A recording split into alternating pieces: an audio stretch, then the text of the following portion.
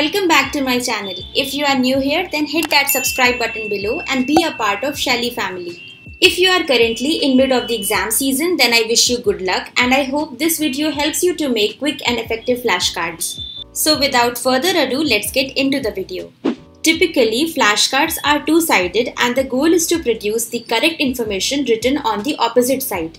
But this is not always the case. You can make instant flashcards from your notes itself. Throughout this video, I will give some tips and tricks that I have accumulated in the past years on quick revision techniques. First of all, you need to know that flashcards itself are not effective, but the making process and their repeated revision make information stick to your long-term memory. Let's suppose you have an exam after 10 days and you need to cover around 20 chapters and you want a quick revision guide. Then making flashcards for each chapter will be a tiresome task and ultimately you will leave it. And that's not our goal for today's video. So what will you do? What will be your action plan? If this was the case with me, then I would go for selective flashcards. By this, I mean to say that you don't need to make flashcards for all the 20 chapters. You need to be specific in your revision sessions because the time is limited and a lot needs to be revised. So whenever I revise, first of all I select chapters or topics that are tough to comprehend directly while skimming my notes. Then I take out a set of flashcards or just a single sheet of paper and start writing key points or sentences that may click other related information as well when I revise. There is no specific way of making flashcards and I abide by this for sure. I think the best way to revise theoretical subjects is by simply writing questions and their correct answers at the opposite side of flashcards. Or you can go for fill in the blank style too.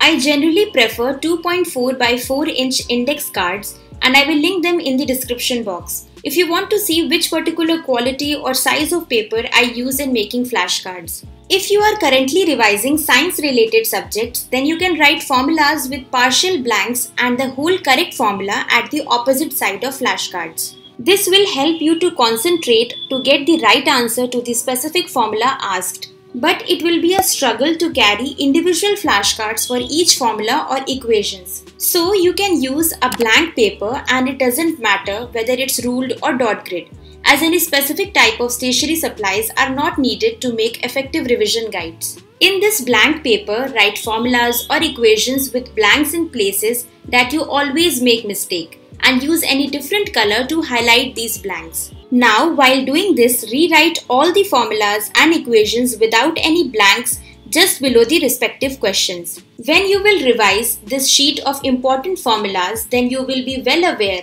that you are only revising the ones that have always been hard and not just skimming the ones that you already know very well. You can hide the correct answers with your hand or ruler or just fold the paper. If you like to revise just before the exam, which I think depends on person to person, this technique can be a great time saver.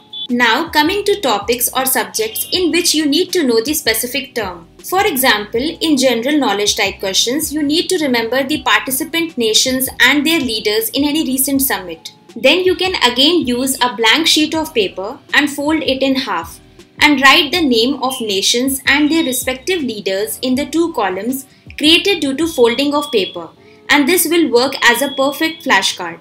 Now, if you are preparing any subject and you want revision guides that are not just a simplified summary of the subject but a set of question banks that you have created over time for effective revision. Then you can write important questions given at the end of chapters or in study guides in the form of flashcards and in this case I prefer 3 by 5 inch index cards. If the answer to the questions are lengthy, like there are a lot of steps involved, then just make an acronym or short word from the first letter of the keyword in each step.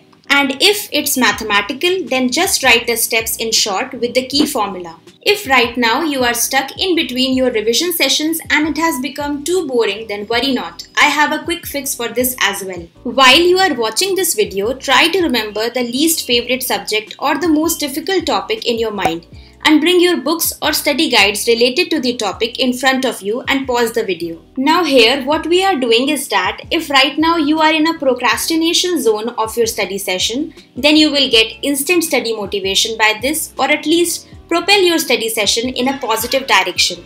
I hope you liked watching this video and if you did, then please show your love and support by hitting that like button and subscribing to my channel if you haven't done yet and be a part of Shailie fam. You can also follow me on Instagram and Amino app for updates on bullet journal spreads, book reviews, study tips and much more. If you like such type of video then do comment your video request down below. I will try to come up with it in the future. Stay safe and take care guys. Bye.